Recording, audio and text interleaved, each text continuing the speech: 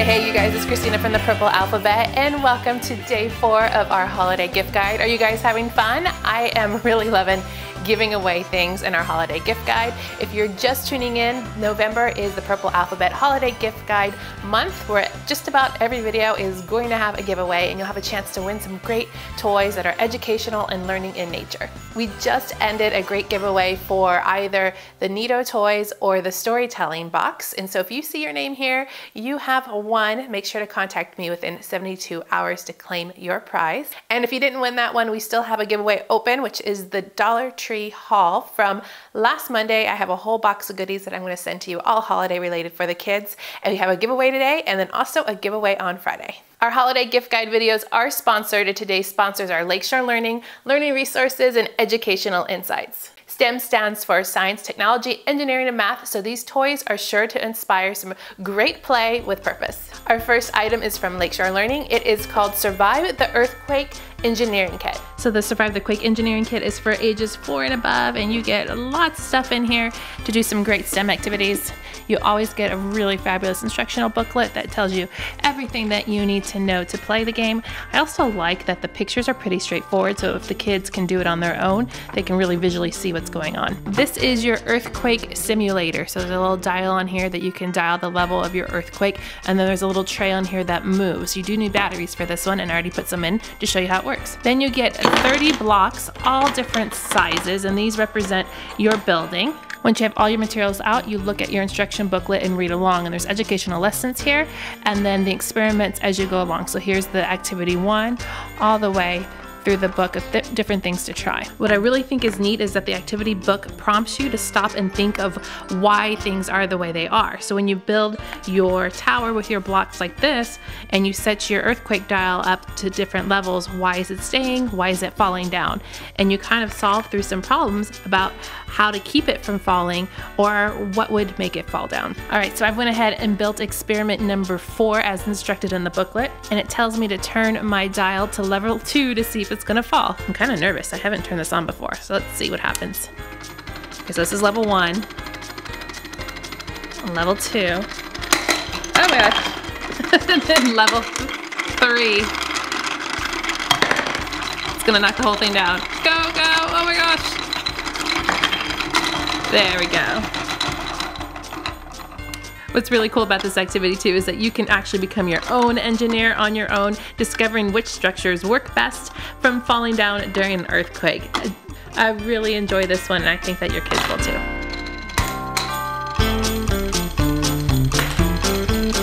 Educational Insights really has some great things for STEM and learning by play. And first up is the Design and Drill Race Car. The Design and Drill race car is for ages 3 and up.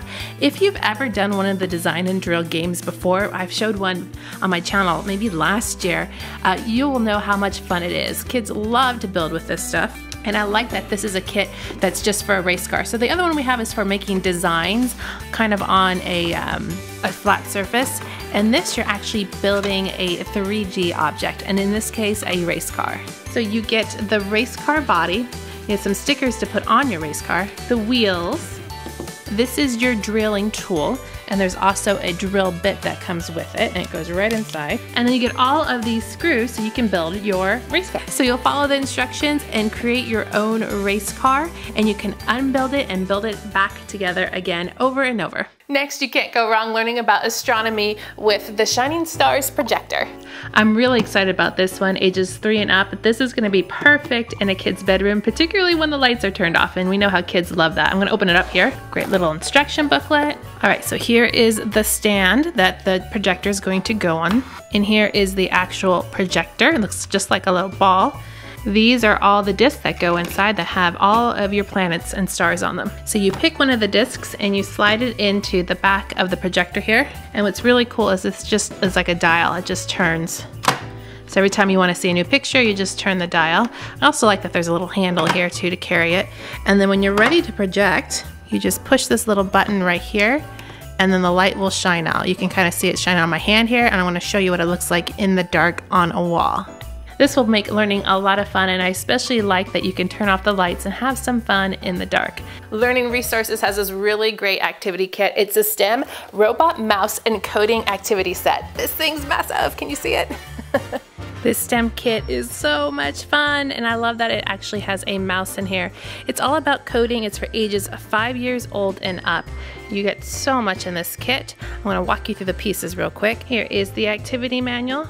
You get a set of activity cards. These are maze grids and you get 16 of them. You also get these maze walls, there's 22 of them, and then 30 coding cards. It's a lot of stuff. So you can use these grid cards to create any configuration that you would like. You can make one big squares or several different patterns. So for our purposes, I have one big three by three square. So you would use Colby, who's the name of your little mouse here, to program your mouse to get through the maze. So let's say I wanted him to get to the piece of cheese over here. I would program him to move using the little buttons on the top of him.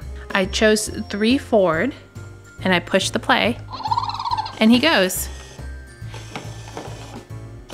And three was too much that he just fell right off my maze. Every time he moves, he moves about five inches. You can also use the maze walls to create barriers that you have to go around. All right, so now I've got my walls in position and I want him to go around here. So how am I going to do that? So I want him to definitely go that way, so he's got to turn. So I'm gonna hit this rotate button. Then I need him to go forward once he turns. Then I need him to rotate again to the right. And then I'm gonna need him to go forward and forward, rotate right and forward.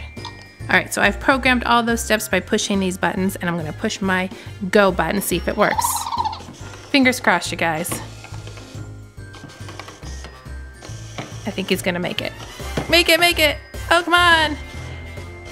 Yes, he's got the cheese. Oh, I'm so proud of myself. Now, if you're like me and you can't remember all those steps, that's where the coding cards come into play, which are these lovely little cards. So you can use them to demonstrate the steps that you're taking. So the first one would have been to rotate, and then he needs to move forward, and then he needs to rotate back, and go forward. So you would use these as a visual reminders of what to push in him to code him so that he moves to the right spots. And so you would just basically put out these cards, kind of like cue cards to remember. So this really helps for the child organize it in their brain, particularly if they are visual learners, so they can look at these and to play them out in their head before they enter the codes in and make the mouse move. There's another way to play and that's with the activity cards. And so you would set up these challenges as pictured here on the card and then program Colby to get the cheese in this little maze. And to liven things up, you can also use the tunnels. If you want Colby to go through the tunnel, that would be a lot of fun too. So what's in the giveaway? Well, you have your choice of the Shining Stars projector, the Robot Mouse Coding Activity Set, or the Design and Drill Race Car Set. Which one would you want if you were to win? Comment down below with that answer and then head over to the giveaway link. And the giveaway link, you can enter to win one of these awesome giveaway prizes, but make sure to enter really quickly because these giveaways are ending soon. And if you want, you can score bonus entries by heading over to the Facebook page, finding this post that talks about this giveaway and tagging two people. And then when you enter the giveaway, you'll just copy and paste their names into your entry. I still have a whole bunch of things to give away here in the next couple of videos, so make sure you subscribe so you don't miss out on any of that fun. Give me a thumbs up to show your love, and I'm gonna see you on Friday in our next holiday gift guide video.